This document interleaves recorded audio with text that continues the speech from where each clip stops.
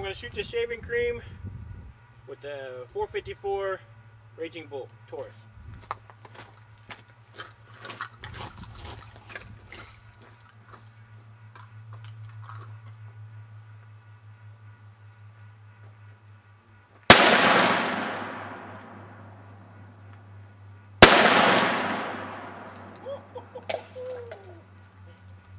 This is fully loaded.